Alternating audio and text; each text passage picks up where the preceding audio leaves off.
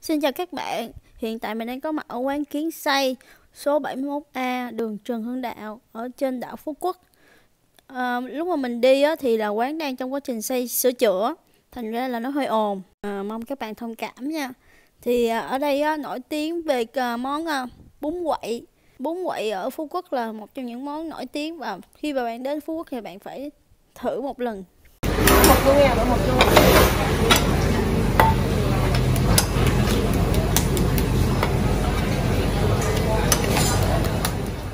À, như các bạn đang thấy á, thì chị nhân viên đang đập dẹp những cái uh, chả tôm và chả cá cho nó dính vào cái thành tô. Để một hồi nữa là chan nước sôi vô là nó sẽ chín và cái miếng cá nó sẽ dẹp giống vậy luôn.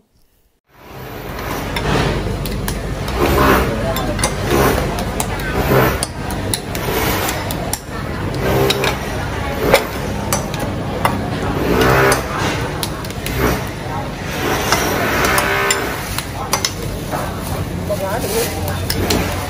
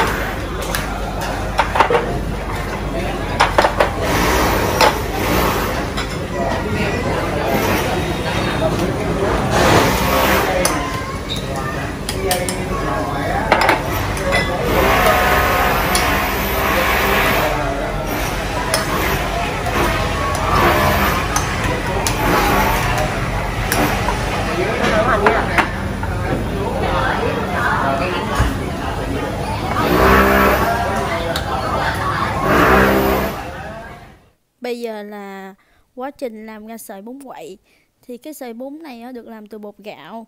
Và điểm đặc biệt của cái bún này là mình làm tới đâu mình ăn tới đó có nghĩa là bây giờ ảnh mới ép ép ra để cho cái cọng bún nó nó rơi xuống à, trong cái nồi nước. Thì cái nước đó nó được nấu sôi lên để cho cọng bún nó chín và đồng thời cái nước đó mình sẽ được chan vào cái tô súp của mình luôn cái tô nước dùng của mình luôn. Đó bây giờ anh sẽ đi uh, bỏ vào cái máy ép.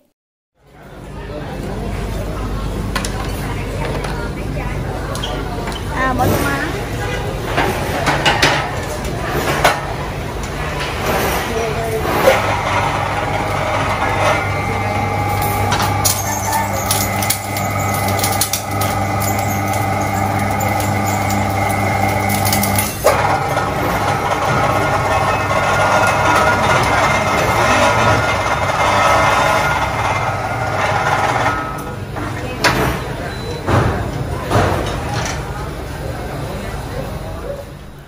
Còn đây là cái menu của quán. Các bạn nhìn rất là đơn giản. Thì ở đây tô đặc biệt là 85 ngàn. Cái tô mình ăn nó sẽ là tô đặc biệt. Là đầy đủ luôn. Có à, chả tôm Rồi à, chả cá, mực, bò.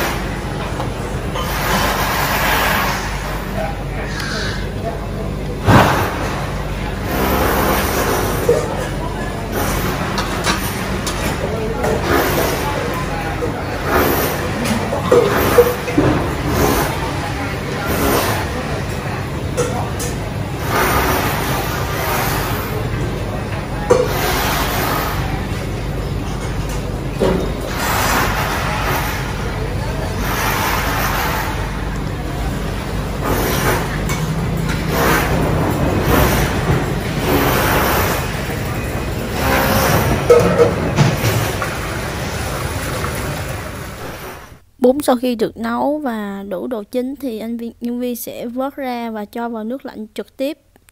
Ngay lập tức để mà cho cọng bún nó nó còn giữ được độ dai và không bị uh, nát bún. Đấy. Anh, anh vừa bỏ vô nước lạnh xong anh vớt ra liền. Có nghĩa là bún nó ăn liền chứ không có làm để sẵn. Bún là tươi 100% luôn làm tại quán luôn đó. Anh vừa vớt ra luôn. Và cái nước lèo này á là cái nước lèo từ cái nước luộc bún luôn thành ra nó rất là lạ và rất là đặc biệt. Nếu bạn có dịp đến phú quốc thì nên thử cái món này. Sau khi vớt bún ra thì ảnh sẽ có một cái à, đó cái đó là cái à, nước ờ, nước trụng bún á. Để mà ảnh làm nóng lại sợi bún, không có bị lạnh. Để mà khi mà cho vào tô đó, cái cái tô bún của mình nó không, sẽ không bị nguội đi. Nó vẫn giữ được độ nóng.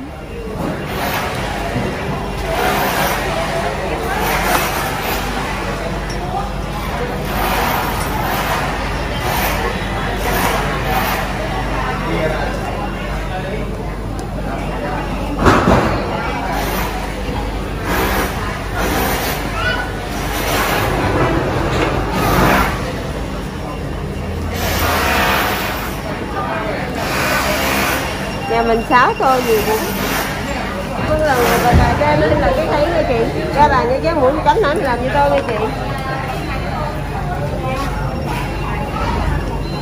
Dạ nhà mình còn hai tô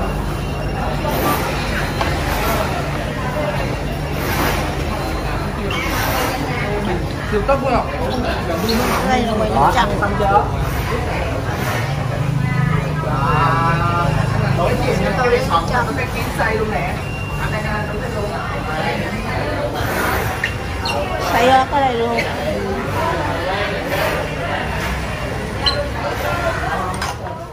À, ở đây á, cái nước chấm á, mình sẽ tự pha và nó có chỉ cho mình cách pha luôn thì chỉ có việc bỏ muối rồi bỏ ớt bỏ à, trái tắc vô. Tùy theo không vị của mình mình muốn tắc nhiều hoặc tắc ít muốn cay nhiều hay cay ít thôi. Đó mình tự mình vắt vô.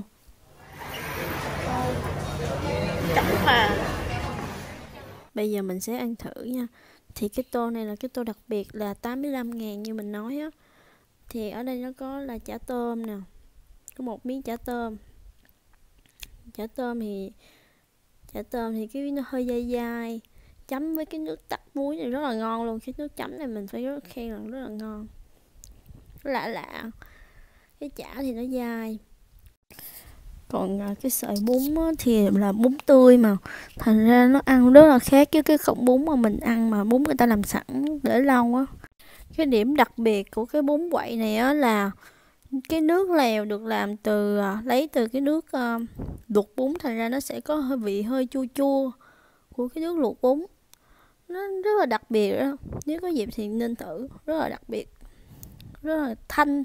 Dạng của nó là ngọt thanh đó nó không có bị quá nhiều uh, gia vị nó ăn giống như là nó không có bị là mình bị ngán á.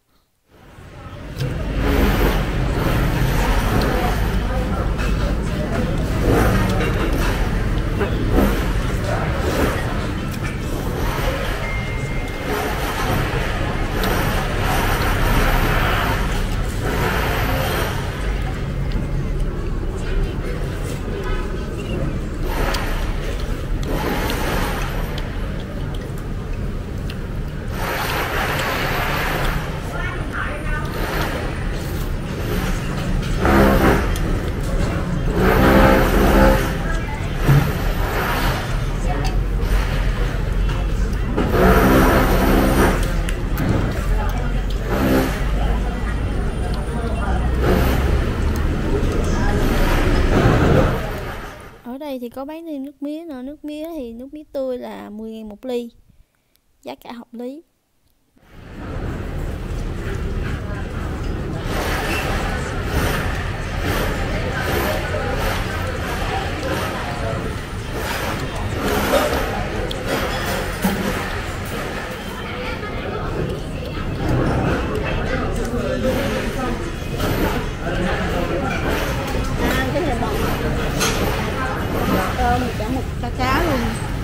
Okay.